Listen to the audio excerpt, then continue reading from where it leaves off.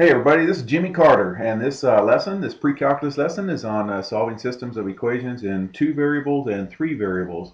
I'm going to do section 2-1 in the board problem right here. So if this is just uh, your algebra 1 slash algebra 2 skills, solving uh, systems of equations, uh, you're introduced to this in algebra 1, uh, and then and then reintroduced again in algebra 2.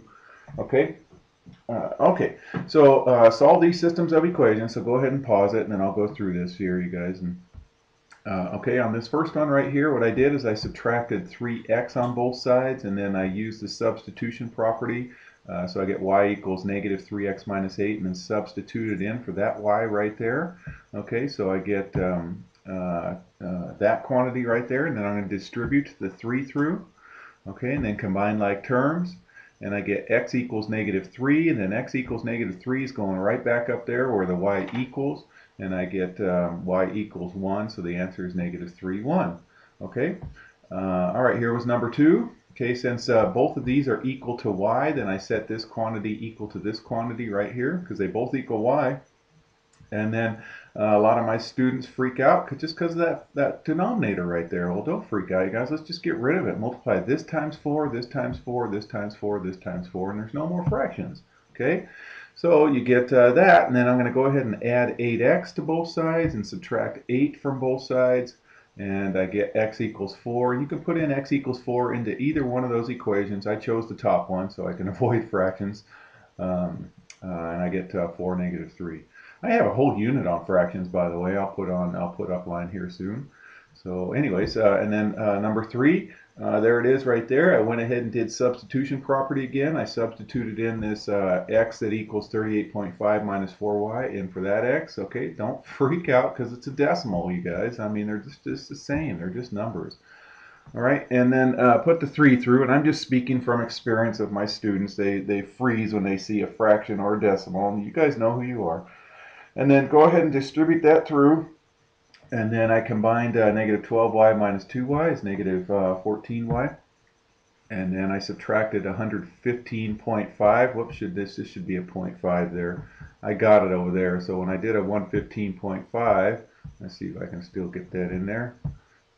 115.5. 0.5. I gotta stretch this guy out. See what I have to go through. Okay, anyways, uh, the answer's still the same, you guys. I just forgot to carry on that 0.5 right there. Anyway, so I get uh, 2.5 uh, comma 9. Now, you guys can get sometimes uh, where you get uh, infinitely many solutions, like say you got, um, uh, I don't know, 5x minus 8 equals 5x minus 8. I'm just saving this, you guys. Never mind what I'm doing here. Um, and so if when you get the same quantity on both sides, that would be infinitely many solutions. Those lines are said to be coinciding with each other. They're on top of each other. They're the same line.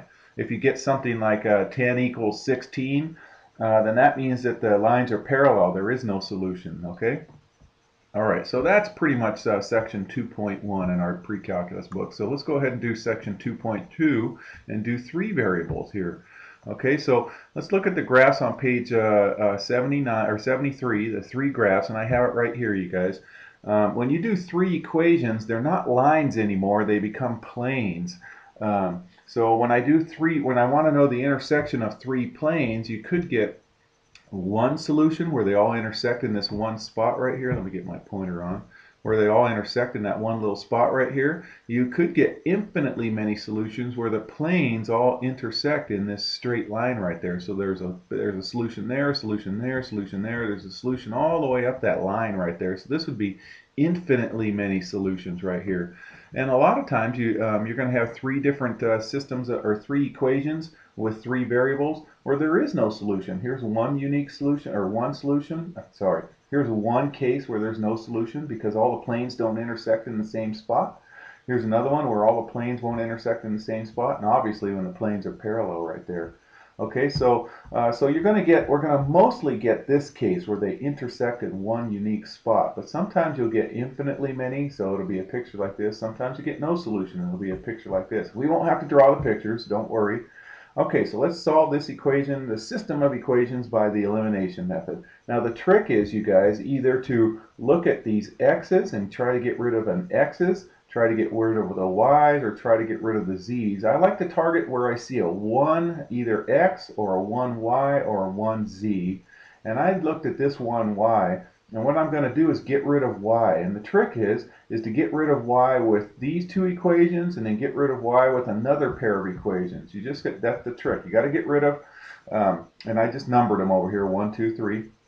Then take two equations and get rid of a variable. And then you got to take a different pair of equations and get rid of the same variable. Okay, and then you just solve them just like you normally would. So for example, if I multiply equation 2 by 2, Multiply this by 2 is 4x, this by 2 is 2y, this by 2 is 6z, this by 2 is 0. I get this equation right here. And then watch what happens. I can go ahead and add that to equation number 1. And then look, the two y's cancel, and I just have an equation now with 9x and 7z, with x and z. And I'm going to call that equation 4.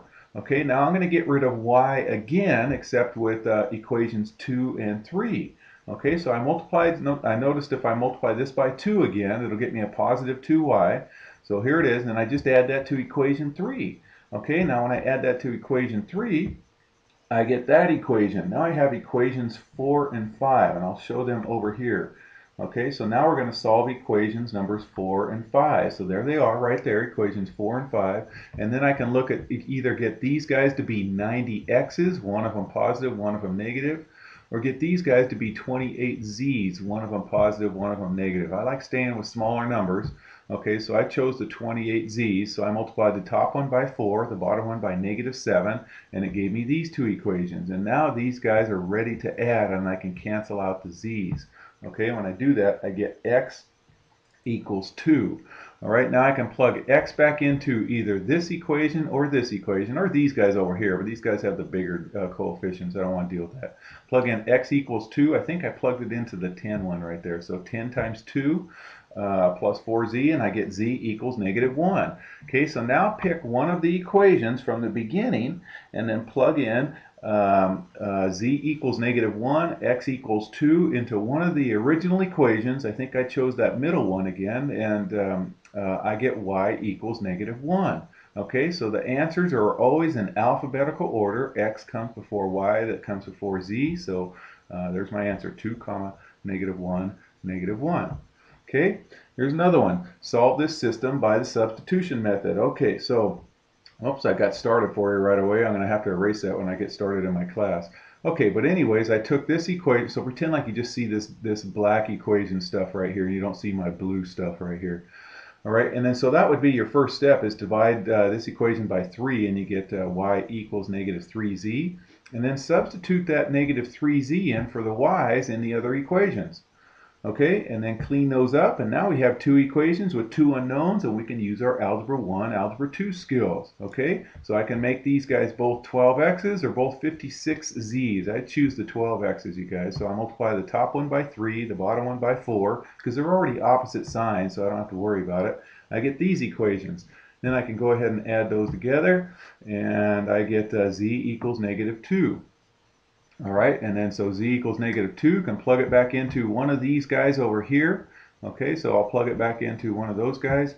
And um, oh, I plugged it into two places, you guys. I plugged z into this guy to get x, and I plugged z up here to get y right there. Okay, so when I plug in uh, z equals negative 2, I get y equals 6. And when I plug in z equals negative 2 here, I get x equals negative 4. So x, y, z, negative 4, 6, negative 2. Okay, now, uh, okay, let's try this one. Solve this system using any method.